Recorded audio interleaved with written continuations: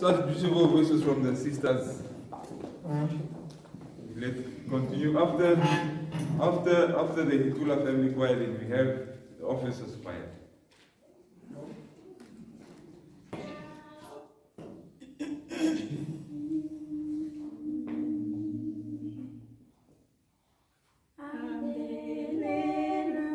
Oh. Om Oh Amen.